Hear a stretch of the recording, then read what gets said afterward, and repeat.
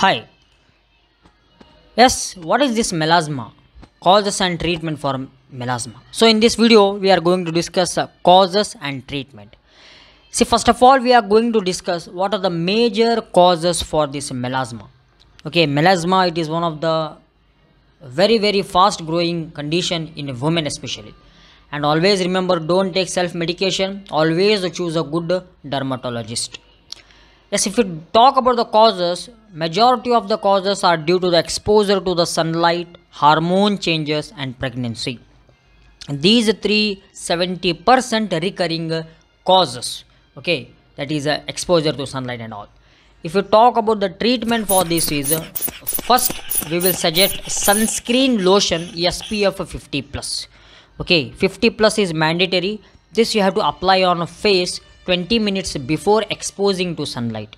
Okay this we have to keep continuing. Next one is the one bleaching agent is there. It helps to remove your tan from the upper epidermis. That is hydroquinone.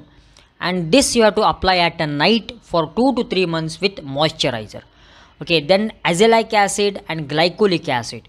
These two are also alpha hydroxy agents. They are help to remove the melasma. And this also you have to apply at night for 2 months.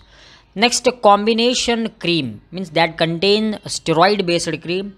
So you can use this uh, and this should be applied for 2 months with a moisturizer.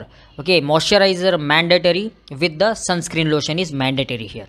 Okay then the fourth important tip here is iron and vitamin b12 supplements. Okay deficiency of these two also lead to melasma. So you prefer some of the natural sources of vitamin b12 like all these what i am showing on the screen or you can go through the other supplements okay and all. And iron very good for health. That also you have to maintain guys. So if you like this video subscribe our channel. Let's join pharmacy. Thank you guys